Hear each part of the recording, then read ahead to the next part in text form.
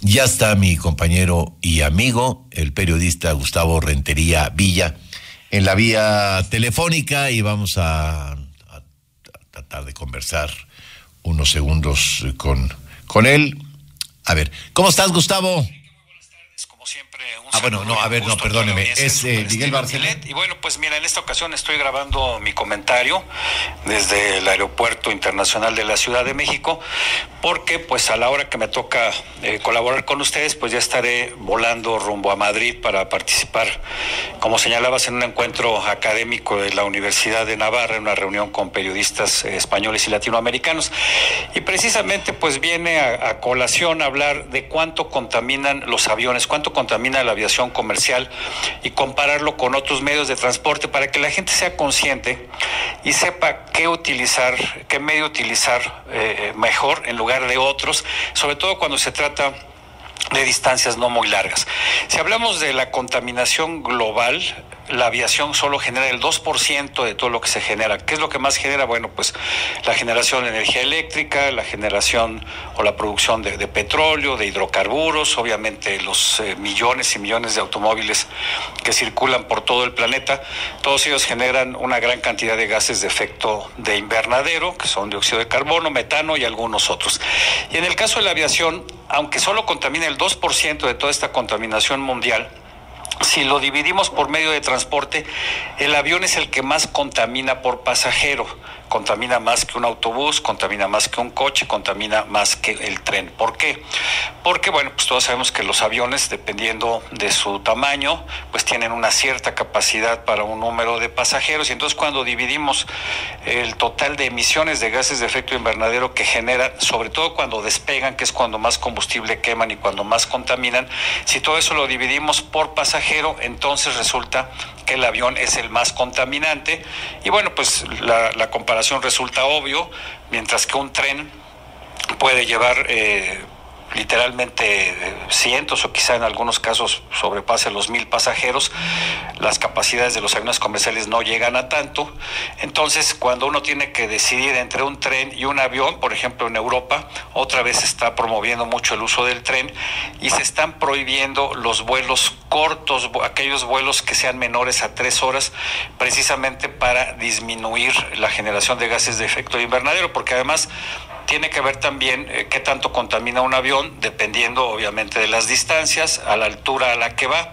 Por ejemplo, los jets privados son los que más contaminan porque llevan muy pocos pasajeros. Entonces, pues hay que, hay que, hay que, hay que ser conscientes y utilizarlo lo menos posible, porque aunque decía que la aviación solo genera el 2%, pues finalmente si esto lo vamos sumando a todas las fuentes contaminantes y considerando que los aviones contaminan tanto en tierra al despegue y al aterrizaje como en el aire, bueno, pues la, acumulación de estos gases es mayor.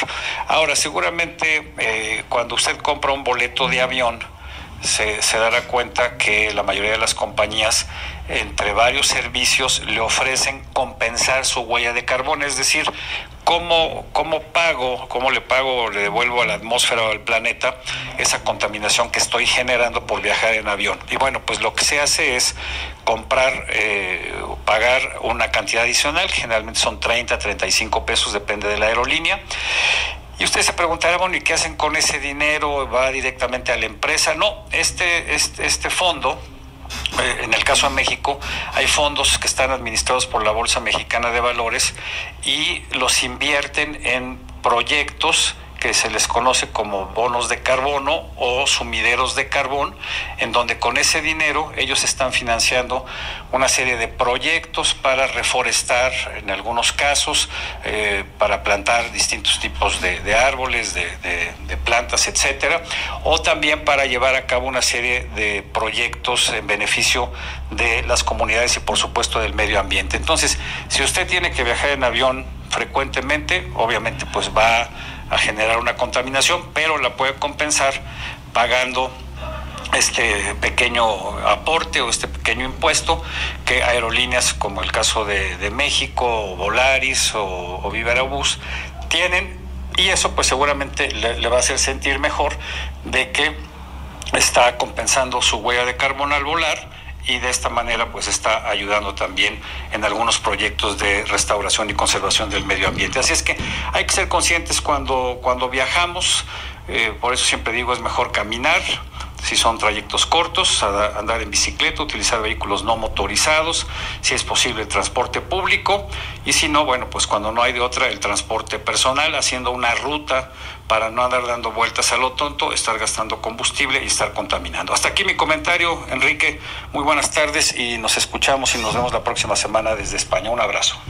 Bueno, pues muchas gracias. Eh, yo le, ruego a usted una disculpa por, por la equivocación del nombre mi compañero, bien comparados los dos, los dos espléndidos periodistas, entre ellos amigos, por cierto.